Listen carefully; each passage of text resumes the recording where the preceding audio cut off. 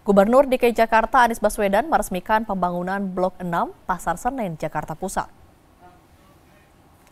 Anies Baswedan menyatakan area Blok 6 Pasar Senen berada di area vital dengan berkonsep pemanfaatan kawasan transit transportasi publik secara optimal. Konsep ini menggeser pola pembangunan sebelumnya yang hanya berbasis pengembangan berbasis kendaraan pribadi.